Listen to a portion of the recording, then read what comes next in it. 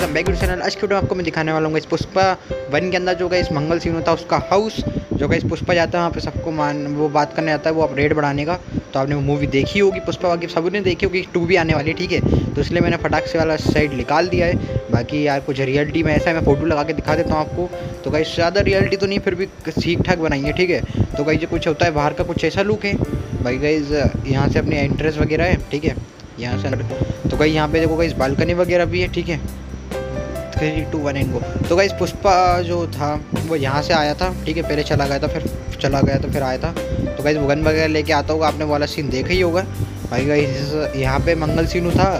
यहाँ पे गैस मंगल सिंह एक किसी को मार रहा था तो आपको पुष्पा बेटा था, आपने देखा ही होगा बाकी बाकी इस वाला भी। ये कहीं सोफा वगैरह है, कुछ जिसका भी मैं दिखा देता हूँ, आपको कुछ ऐसा है फ़ोटो दिखा देता हूँ, ठीक तो भाई देखा ही होगा बाकी कहीं जेरा उसका रूम जो कहीं मैंने बनाया नहीं, खाली है, ठीक है।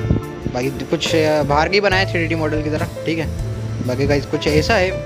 बाकी तो वैसे इतना ही है, बाकी यहाँ पे वो यहाँ सीनू बैठा था, ठीक है। बाल वाल कटवाता, जो भी कटवाता वो कलर मलर करवाता, अपने बाल में देखा ही होगा अपने वालों का सीन भी। भाई, जहाँ पे पुष्पा आते हैं पूरी चद्दर वगैरह रहती, सब टूट जाती है। बाकी बस, ठीक है आज की वीडियो तो नहीं सब्सक्राइब कर देना इस लाइक कर देना इनका भी बताना कैसी लगी वीडियो मिलते नहीं नेक्स्ट वीडियो में, तब तक के लिए बाय बाय